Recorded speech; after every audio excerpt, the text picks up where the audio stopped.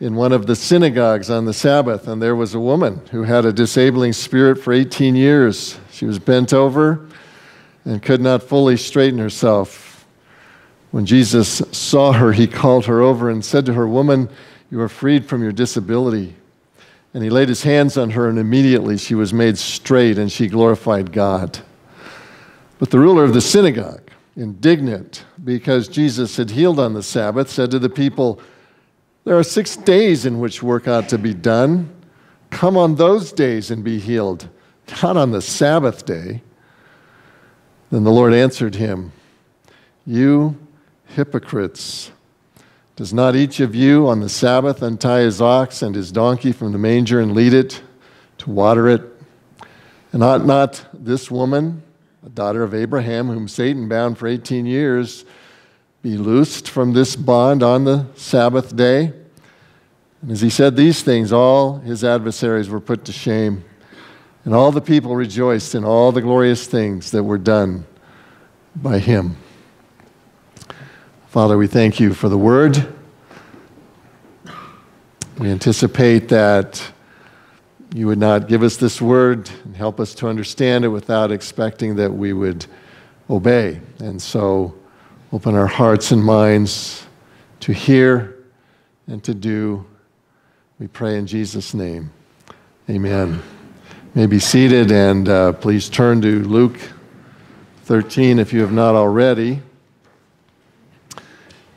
Some of you remember that just prior to the text that I read this morning, Jesus had been talking about the importance of bearing fruit in keeping with repentance. Luke follows that with this dramatic illustration from another occasion, most likely, that shows the two responses, two possible responses to Jesus' message. One is a response that is fruitful, the other a response that is fruitless.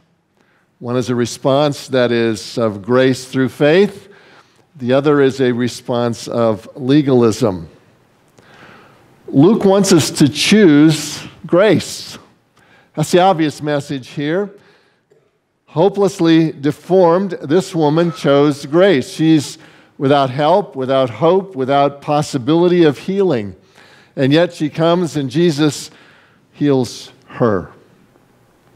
He is illustrating here physically something that we can see that's visible, that's clear the truth of what he can also do spiritually, and that's what he wants to do in our lives. Now, as we look at this contrast today, we're going to see that legalism is basically speaking in this context to those who are unbelievers and how it keeps them in the chains of unbelief. But it also applies to those of us who are believers because it's easy as a believer to develop a legalistic lifestyle and a legalistic approach to life. And so I trust that the Lord will speak to us, whatever our condition in life, through this uh, illustration of what legalism is all about. See, the woman was not the only actor in this drama.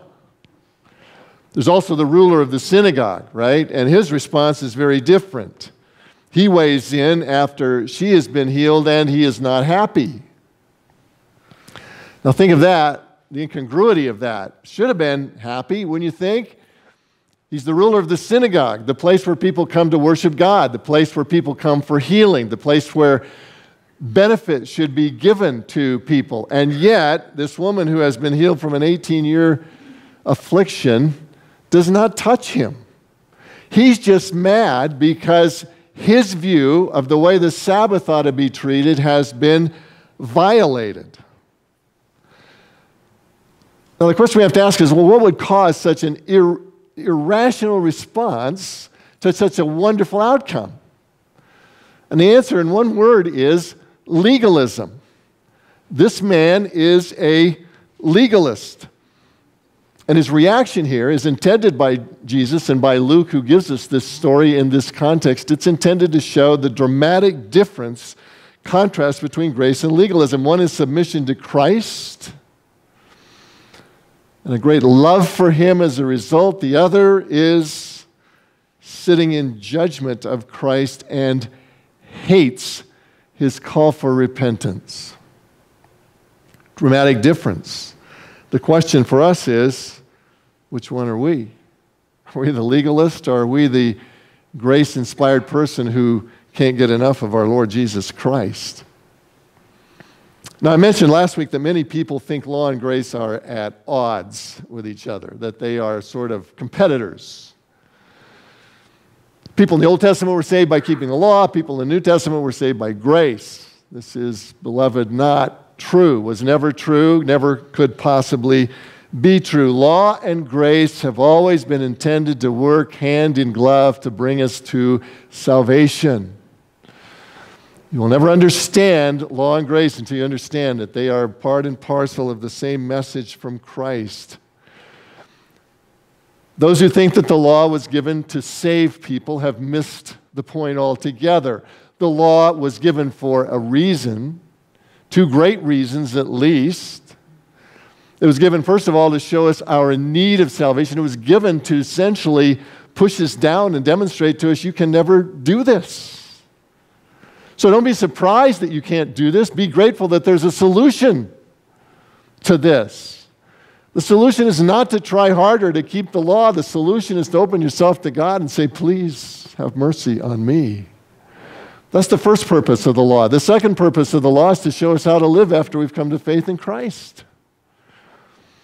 It's to show us where the boundaries are. It's to show us what the character of God looks like. So that when Jesus says, You must be holy as he is holy, we know what that means. So the law has these two great purposes. Now, in the end, the law will also condemn those who will not accept grace. It's true. But the law is so good, beloved, and its two great purposes to show our need and to light our path. The problem is not the law, the problem is legalism. The problem is legalism, which misuses the law. The problem is using the law to try to be saved. The, the problem is trying to apply the law in ways that it was never meant to be applied. Legalism is me trying to earn what I can only have as a gift from God. Legalism is me playing God and submitting instead of submitting to God. I'm tempted to ask this question, but I don't want you to raise your hands. Uh, any of you know what a wine brick is? Because if you do, you were probably drinking during, during Prohibition. And uh, I see that very few of you would have been around during Prohibition, let alone drinking, of course, so you would not know. But a wine brick, when wine was outlawed during those years, was a method that some of the bootleggers came up to get the, to, to move their product. They would take the grape extract from the grapes and they would form it into a brick kind of this, this, uh, this, this brick, and then they would put this label on it that made it legal. The label read like this It said, Do not let this brick set in a gallon of water for 21 days. It will ferment and become illegal wine. They were circumventing the law. So they had their method that they could move their product and still let people know how they should treat this and how to have the wine they wanted without being legally culpable, which is exactly what legalism does. See, no one can keep the law. Not you, not me, not the best person that you ever knew, not your mom, bless her heart, or your dad. Nobody can keep the law. So the legalist comes along and says, So what I'll do is I will circumvent the law. I will make up things. That's what the Pharisees did. They said, here's what it really means. Here's an interpretation that I can keep. So they would keep the law as they interpreted it, and then they would say, hey, I am clean. They would declare themselves righteous. They circumvented the law by their legalist tag ons. They forgot that God looks on the heart. God was never fooled. God never can be fooled. He knows exactly who we are inside and out. All they did was tragically ingra- eh, eh, you know, eh, uh, get themselves in, in, in, entangled in this system of regulations that kept them from true repentance, which is the only way that we can come to God. And the result of legalism is so evident in this man, and that's why I want to take a few minutes today to look at what does legalism look like. And as we go through this, obviously the primary focus here is in a person who's never come to faith in Christ. Is trying to get there by keeping the law. But beloved, we as Christians can become very legalistic in our lifestyle as well. And we will have the same characteristics that, that this man did, even potentially as a Christian. So, what characterizes legalism? Number one, it is compassionless. Legalism is compassionless. Here's a woman who's been 18 years with this horrible condition, so bent over she can't even look up would have been extremely painful as well as inconvenient. She's marvelously healed, and suddenly she's standing, something she hasn't done for 18 years, straight as an arrow, and yet this man is, is absolutely untouched by that. Because why? Because legalism is heartless. It cares nothing for people, it only cares about rules. It's rule oriented. Legalism is cruel, it is critical, it is joyless, it is crushing.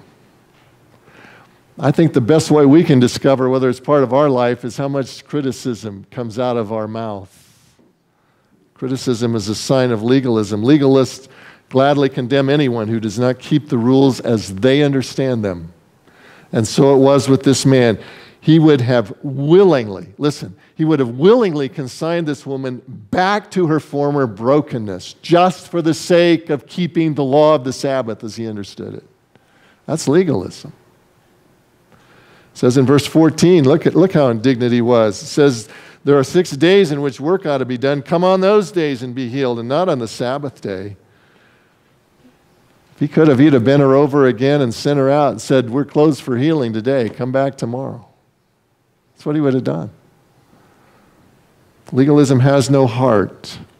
You know, it's, it's, it's exactly this kind of legalistic cruelty that led to the Reformation. Do you, know, do you realize that? Martin Luther was a legalist. Martin Luther believed that the only way, because that's, that's what he'd been taught all of his life, believed that the only way that you can get to heaven and be right with God is by keeping the law. The only difference between Martin Luther and most people is he took that very seriously. He saw the sin in his life, and he kept seeing the sin in his life. He kept going to confession and going to confession. He would go six hours a day to confession as a monk. He wore his confessors out. One of them told him, Martin, go out and commit murder or you know, steal something or have an affair, something to come back and confess. because he got it, that he was filled with sin and he was right. He just saw it better than most of us take time to see it. But he still despaired of his salvation. Martin Luther hated God. He hated a God that would impose upon him this which he could not do. If you hate God, might be a legalist. Till you understand grace, you may hate God because of the demands. But then Martin began, he had fortunately had one good mentor who said, Martin, go read the Bible. Read it in the original language. You've learned how to do that. Martin began to read the New Testament. He came across, among others, the verse in Romans 1:17, the just shall live by faith. And it began to come home to him. And he found other passages in Galatians and Romans that spoke to the fact that you cannot be, be saved by keeping the law. The verse we read this morning in Titus, we are saved not by works of righteousness that we have done, but by the mercy, by his mercy he has saved us. And Martin Luther began to grasp the fact it's not what I can do, it's what Jesus has already done. That's what salvation is about. He came to faith in Christ. He began to understand that salvation was a gift to accept, not a position to earn. But he was still living in a society, he was still surrounded by a church that was committed to legalism, right? In the Middle Ages, the church had replaced grace as the message of the church with the message of salvation by grace through faith plus works we misunderstand and we mistake and we say that the Roman church doesn't believe in, in grace, it only believes in works. That's not true, but it believes in grace plus works. That's the problem. First comes baptism. Must be baptized or you cannot be saved. But as soon as you sin after you're baptized, guess what? Your salvation flies out the window. It's gone. So now what? Baptized again? No, you don't have to be baptized again. But now you got to come and confess to the priest. You got to get penance and do penance. And now, based on the merit of the saints who they've been so good that they have an excess, you can now tap into that and you can become saved again. But the next time you sin, same problem all over again.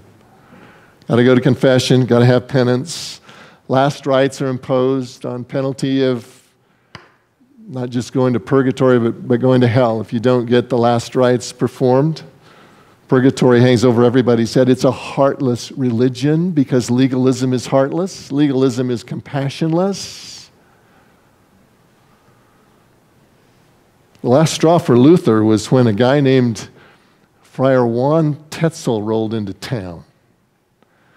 Tetzel was selling indulgences. What's an indulgence? It was a get out of jail free card, get out of purgatory free by paying money. Release of that excess merit of the saints, you could buy it. And he had a catchy jingle. I don't know how it sounded in German, but here's how it comes across in English. As soon as the coin in the coffer rings, the soul from purgatory springs. That was what he was literally saying. Listen, beloved, you go online today. And since the time of Pope Benedict the 16th, you can find you can still buy indulgences. Thought we did away with that in the Reformation, still going on. The church was fleecing people. Just like the Pharisees in the Old Testament took the Old Testament and made up their own interpretations and their own rules that they could follow so that they could impose them on everybody else.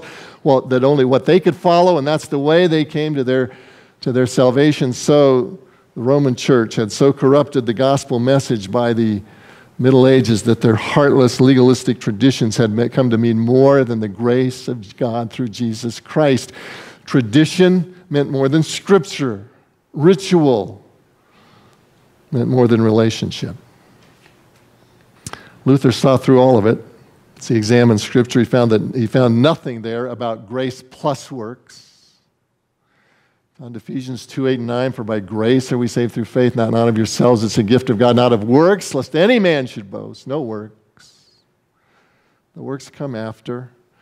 He found in Scripture no excess merit on the part of saints. He found no penance, no last rites, no purgatory, no indulgence. He didn't find any of that in Scripture because it's not there.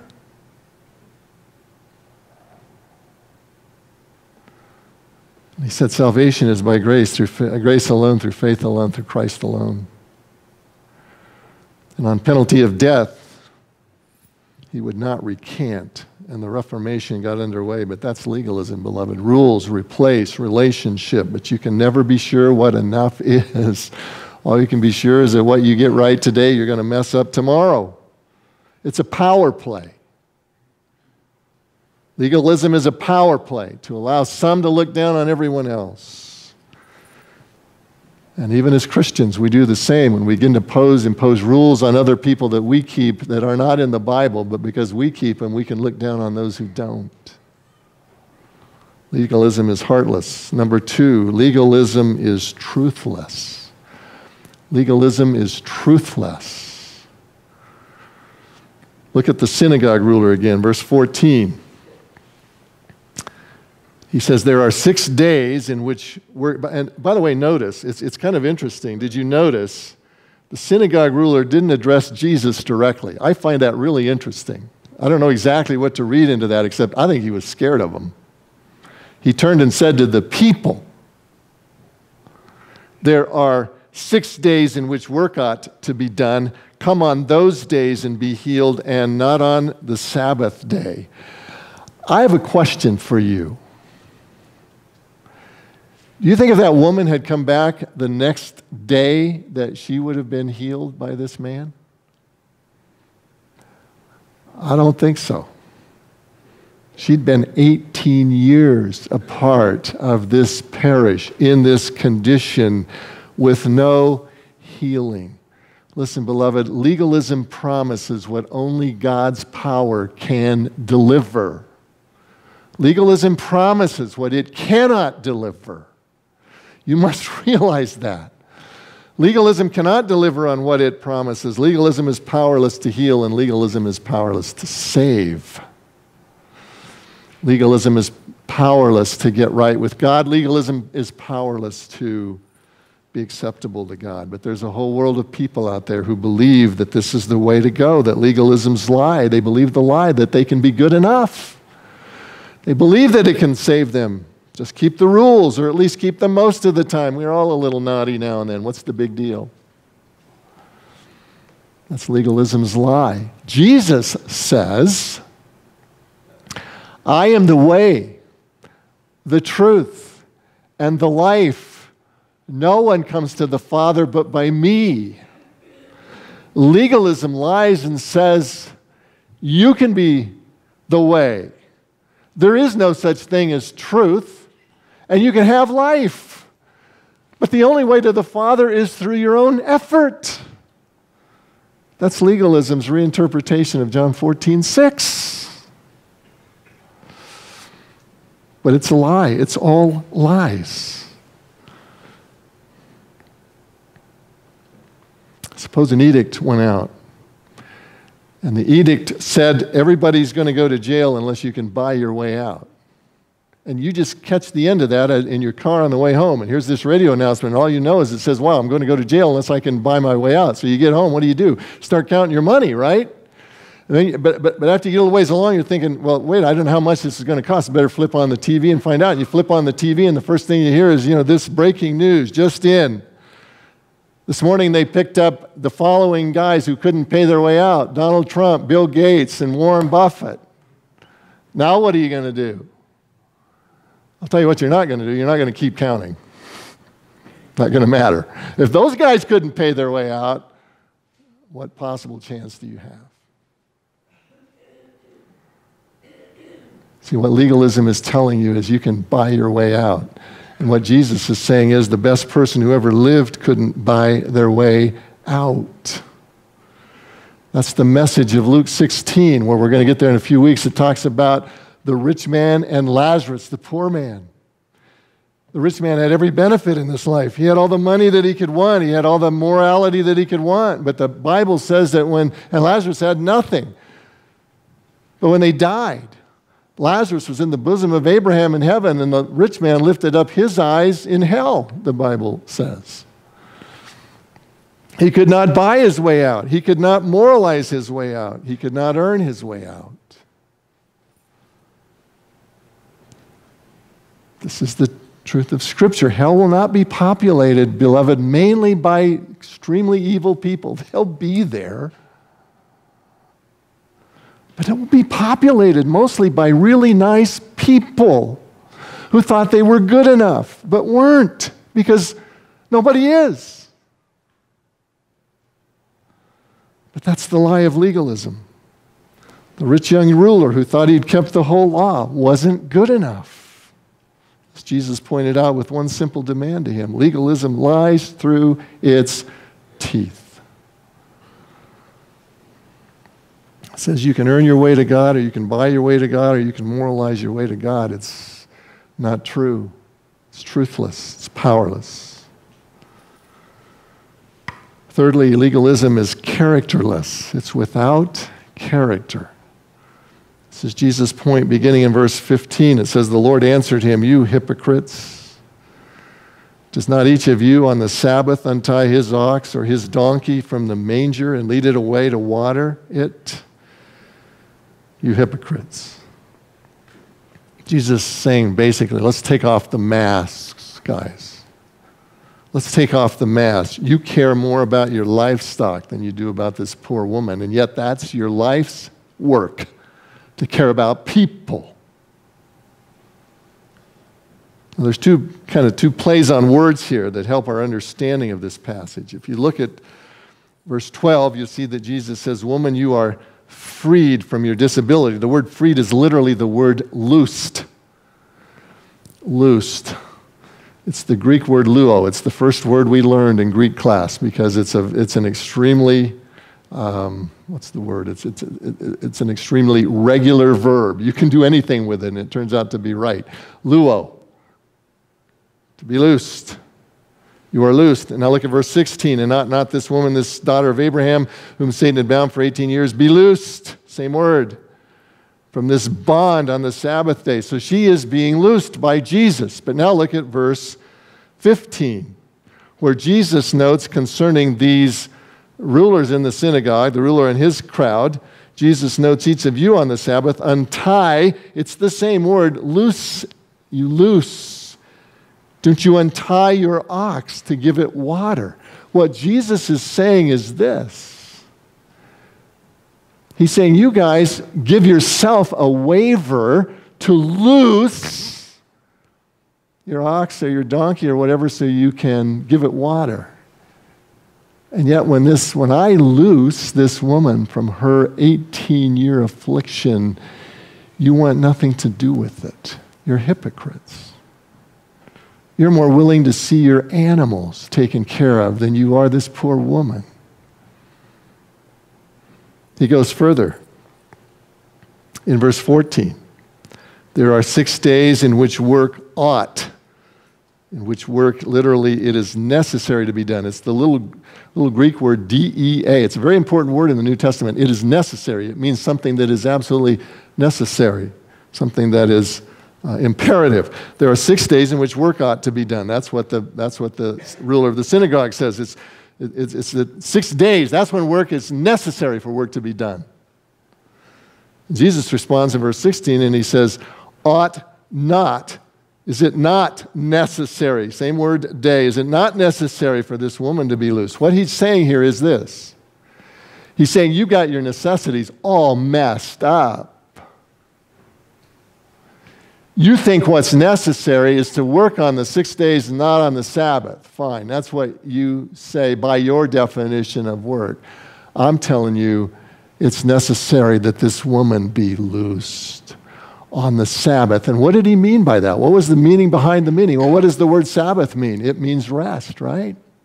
The word Sabbath means rest. And he's saying, You don't even understand the spirit of the Sabbath. The Sabbath is for rest. This woman has been 18 years in this condition. I'm giving her rest by loosing her from this condition today. That's what the Sabbath is about. You think it's just about your work rules.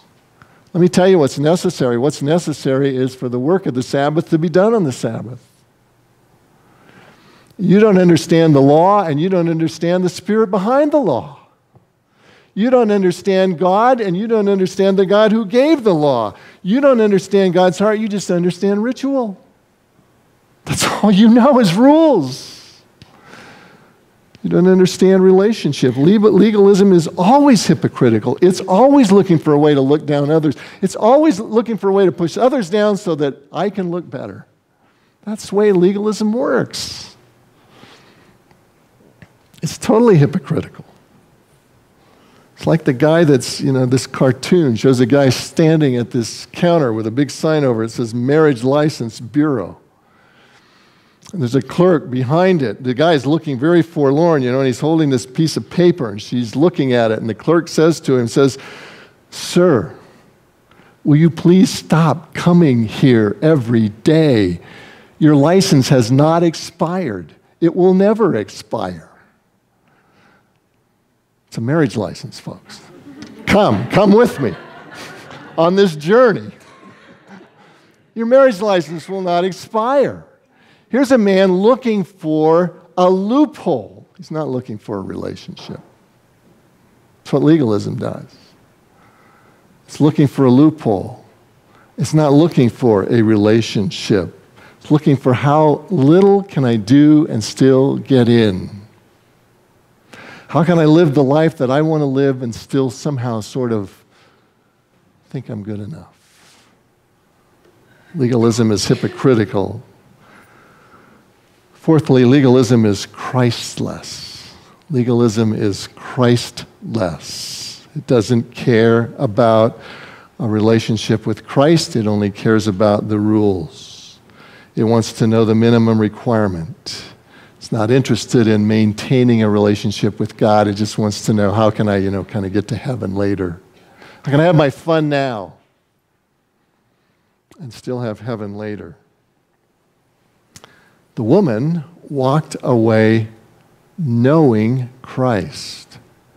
The man walked away judging Christ, and he was therefore Christless. Listen, you cannot be sitting in judgment of Christ and have Christ. This doesn't mean that the man didn't know about Jesus. He did. He was seeing him face to face, right? He was seeing him in a way you and I don't see him today. He knew about Jesus. It doesn't even mean that he didn't think that maybe he was a little bit of a good man. He might have, I don't know.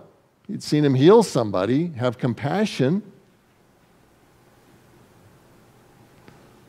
But he believed in himself more than he believed in Jesus. He believed that he was a better interpreter of rules and of life than Jesus was. He believed in what he wanted to believe rather than in what Jesus said he needed to believe. So therefore, he was judging Jesus to be wrong. He was judging what Jesus claimed to be wrong. He believed himself rather than Jesus. It's a disease that's epidemic in our own world.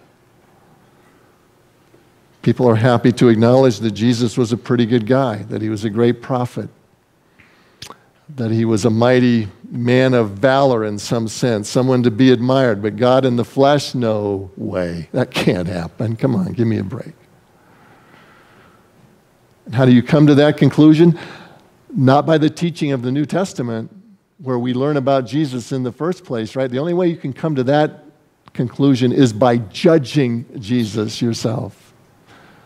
Is by saying, I don't believe what the Bible says about him at this point. I believe what I think must be right. We're judging Jesus. And I have to tell you, beloved, if that's you this morning, you're Christless. You can't just believe Jesus is kind of a good example and kind of a nice guy to lead you along and, and show you how life is and still be someone who has Christ. In refusing to acknowledge who he really is, you have lost him.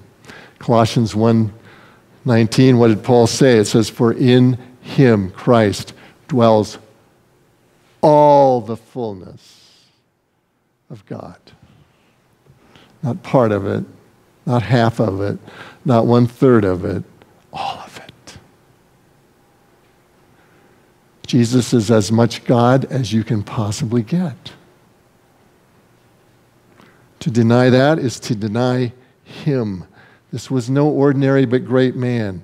He's not a fine prophet or a guru, a religious guru of some kind that he's been made out to be. And to accept him as anything less than that is to be Christless. Listen, one of the, you know what, one of the great proofs, we could talk about a lot of things here, but one of the great proofs of the deity of Christ, you know what it is? It's the fact that literally thousands of Jewish people from the first century eventually believed in Jesus. You say, how is that any proof of his deity? Well, think about it for a second. What was at the heart? Now, listen, Jesus could have been exposed to Eastern religion or somebody else where they say God is everything, everything is God. There's no transcendent God. There's just God in nature, and everybody could be God. And if, yeah, okay, if you say Jesus is God, fine, we'll put one more little idol up on the shelf. But not the Jews. The Jews didn't even begin to think that way. Their concept of God was that He is transcendent, that He's the creator, that He's outside of anything that we know. He made us. The Jews believed that Jesus, uh, that, that God was one and only one, that there wasn't any other God. The belief, what, what was the, the, the, core of their belief was the Shema, what, we've rec- what we have memorized in Deuteronomy 6. Hear, O Israel, the Lord our God, the Lord is one. You shall love the Lord your God with all your heart, with all your soul, and with all your might. That was the core belief of the Jewish people. And here comes this average, normal looking guy. In fact, maybe not even that much because Isaiah 53 2 describes him this way that he had no form or majesty that, I, that we should look on him. Jesus didn't look like God. But he comes along saying, Oh, by the way, I'm God. The Jewish people would not have known what to do with that. That was one of the problems. They struggled and struggled and struggled with that. And in Jesus' lifetime, there weren't very many who came to faith in him, right? But within a few weeks after, there were thousands of people in Jerusalem, thousands of Jewish people who were, who were dyed in the wool monotheists, because that's what they'd been taught all their life. who suddenly had to acknowledge that, yes, Jesus is God. How could they, why, why would they do that? Because they had seen him, the perfection of his life, of his being, of his person, because they had seen the extraordinary, compassionate person that he was, because they had seen grace and truth, as John says in John 1.14. They'd seen all that magnified because, because he was tenderness and love and power all rolled into one. And as, as his fame began to go abroad, they knew this. All of that played into it. But here's the reason primarily because Jesus died and rose again. It all hinges on the resurrection. When somebody does that, you can't just kind of throw him aside and say, I, I don't believe it. I don't believe it. So, how did that happen? So you have thousands, literally thousands of people in Jerusalem in the first century church who not only suddenly believed in Jesus and believed that he was God, but that who also gave up the rules that they had been living all their life about the Sabbath and began to worship on the first day of the week. Think about the implications of that. How could that happen? They gave up the sacrificial system that they had been taught all their life was the key to everything. Why? Because they saw Jesus now as for who he is and for what he is, as the fulfillment of all of this, as the Son of God incarnate, as God in the flesh. And by this time, incipiently, it had been to develop the, the concept of the Trinity. They probably didn't know the fullness of it like we do today, but as they began to study the scriptures, they said, oh, yeah, there's a sign of the Trinity in the Old Testament. Oh, yeah, the name God, Elohim, is plural in the Old Testament. Never really picked up on that before. Oh, yeah, God said in Genesis 1, let us make man in our image. Who in the world was he talking to?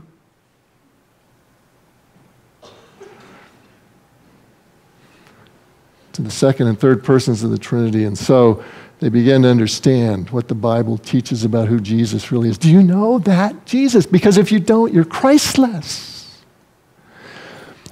And that Jesus, who is God in the flesh, says you can't come to the Father but by me. The whole world believes in God. So are they saved? No. Not unless they've come through the Son who reveals him. Legalism is Christless, does not believe in God, that Jesus is God. Which means, the fifth one is a natural follow on legalism is salvationless. Legalism is salvationless. Jesus makes this point in dramatic way in this passage. Look at verse 16. He says, Jesus says, Ought not this woman, a daughter of Abraham? Stop there. Ought not this woman, a daughter of Abraham? What's Jesus doing? What's the, what, what does it matter that she's a daughter of Abraham? They would have assumed everybody in the synagogue is the son or daughter of Abraham, so what's the point? Why would you call this woman a daughter of Abraham? Why? Why did Jesus say that? Because he's drawing, beloved, an intentional contrast between who they were and who she was. They thought that they were sons and daughters of Abraham. Well, physically, they were. But they weren't the sons and daughters of Abraham in the sense that this woman was now the daughter of Abraham because she is the daughter of Abraham not just physically, but spiritually. She is the daughter of Abraham not because she was just born a Jewess, but because she has now accepted accepted the truth of God expressed in Jesus Christ in a way that they were not willing to do. She is a daughter of Abraham because she has followed Abraham in his faith. When God said Abraham believed God and it was counted to him for righteousness, she's now in that camp, and they're not. She's saved and they're not. That's what Jesus is doing here. He's drawing the contrast. It's not enough to be a child of Abraham by birth, one must be a child of Abraham by rebirth. This should not have been new to them. God had made the point all the way through the Old Testament. Passages like Deuteronomy 10:16 and I could multiply these, but let me just give you this one. Deuteronomy 10:16, God challenges the people, circumcise therefore the foreskin of your heart. How are you going to do that? Physically somehow cut into your heart, perform a circumcision operation. Can't do that. What's, he, what's his point? It's not enough to be included in the covenant by virtue of your outward sign of circumcision. You must have a heart that's turned toward God. That's his point. You don't get rid of sin by being a daughter or a son of Abraham by birth and being disobedient the rest of the time. You become a son or daughter of Abraham in the fullest sense by a heart that has turned toward God. You get rid of sin by turning from sin in your heart. It's repentance. It's the same thing we find in the New Testament over and over. Paul absolutely nails it. Turn to Romans 2. If you think I'm just kind of pulling this out of a hat, Romans 2. Look at this. In Romans 2, beginning in verse 28, Paul is, uh, Paul is here taking the Jews to, he's taking the Jews to task. First chapter of Romans, he's, he's basically demonstrated that the pagan world, sure enough, they are, you know, outside of God. But now in chapter 2, he's showing the Jews, but guess what? So are you guys. They couldn't believe that. They, the sons and daughters of, of, of Abraham, that's all it took. Abraham, after all, they'd been taught from the time they were kids Abraham sits at the gates of hell and will, let, will not let a Jewish person enter. That's what they'd been taught. And Paul is saying, no, no, no, you're, you're sinners right along the rest. You need salvation just like the rest. You must come just like the rest. And so he says in Romans 2.28, he says, for, there, for no one is a Jew who is merely one outwardly it's not enough. Nor is circumcision outward and physical, but a Jew is one inwardly, and circumcision is a matter of the heart, just like the Old Testament had always said. Circumcision is a matter of heart by the Spirit, not by the letter. His praise is not from man, but from God. The Pharisee and the rulers of the synagogue, what were they interested in? The praise of man. They were following the rules. They cared not for God. And they'd forgotten that David had said in the Old Testament in Psalm 51 17, the sacrifices of God are bulls and rams and goats and lambs. Is that what they are? No. David said, The sacrifices of God are a broken spirit and a contrite, a broken and contrite heart, O God, you will not despise. That that's what this woman had that the ruler of the synagogue did not, and so he, she had salvation, he did not. Legalism is always salvationless.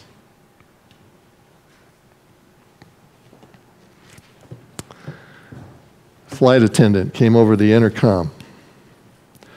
Said, Ladies and gentlemen, I'd like to welcome you to Honolulu. A couple minutes later, the plane pulled up to the gate, and she came on again and said, as I said before, I'd like to welcome you to Honolulu. Unfortunately, we're in Fresno. We're in Fresno. It's kind of funny, right? But it won't be funny the day that legalism makes the announcement over the intercom Ladies and gentlemen, I'd like to welcome you to heaven. Unfortunately, we didn't make it. We didn't make it. Legalism can't take you where you want to go. So, what can? Grace the grace of God expressed in the person of Jesus Christ, throwing yourself in the mercy of God, for by grace are we saved through faith. And even that's not of ourselves, that's a gift of God. Let's pray. Father, thank you for grace. We acknowledge that we are prone to want to save ourselves think if we just had this thing or that thing or could do this thing or that thing, that that would make life worthwhile. And that's what we look to to save us. And legalism says, yep, and you could, you know what? You want to take care of the afterlife, just be, just be good. Be better than the next guy. And it's all a lie. Because it's only by grace through faith that we can become right with God. Nothing that we do, everything that He does. What a privilege. Lord, that should turn our hearts inside out in thanksgiving and gratitude and cause us to live totally differently because we are saved by grace. It may be true. I pray that there's no one here this morning that hasn't experienced that. And Lord, as we take a few moments just to contemplate what you have said to us today, pray that you will open hearts to yourself. In Jesus' name we pray. Amen.